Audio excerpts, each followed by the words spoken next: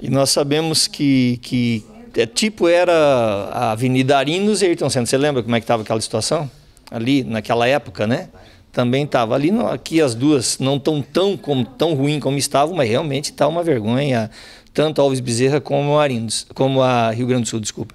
Demorou um pouquinho, que a própria firma achou, e a gente tem que respeitar a parte técnica, eu não sou engenheiro, e tem que respeitar que lá atrás, olha, está um pouco úmida a base, não, a gente quer que fique bem feito, enfim.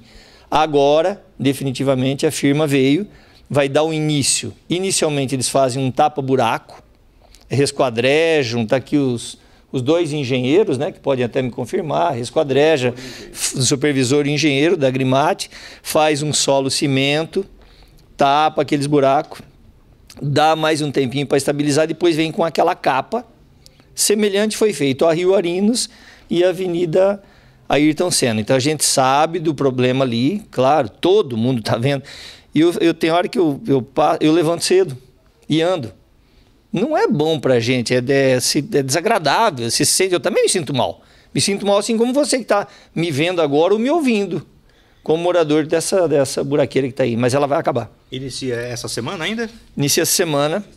O supervisor e o engenheiro da Grimate chegaram ontem, o, o engenheiro já vai ficar por aí.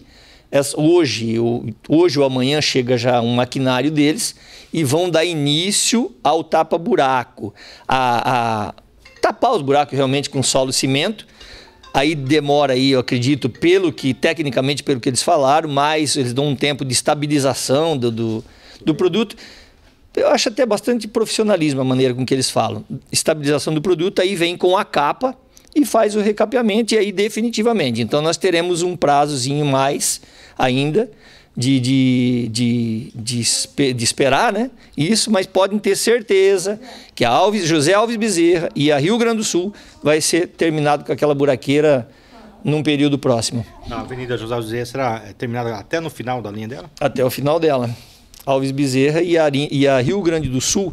Eu preciso a confirmação do, do engenheiro, do Júnior, que, que vai estar tá aqui daqui a pouquinho, mas até ali na, na Ayrton Senna. Termo de toda a José Alves Bezerra e toda Rio Grande do Sul.